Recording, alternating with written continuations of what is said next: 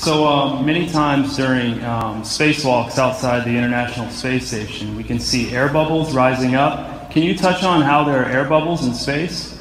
Um, air, can you be more specific? Air bubbles? So yeah, like a lot of times during the footage, the NASA footage, you can see bubbles coming up out of the helmets or kind of from underneath you.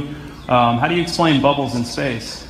Yeah, I, I'm not sure exactly what you're talking about. You might there's now sometimes you get water in the helmet, and it comes. It's either it's either uh, you know from sweat or from the cooling garments. And um, you know, on some of my spacewalks, I had like water in the helmet. Not like I was going to drown in the helmet, but just little bits of water probably came from uh, sweat. Often um, on the outside of the space station, you'll liberate little pieces of. Um, you know, there, it's a really harsh environment out there, and the outside of the space station gets beat up pretty good.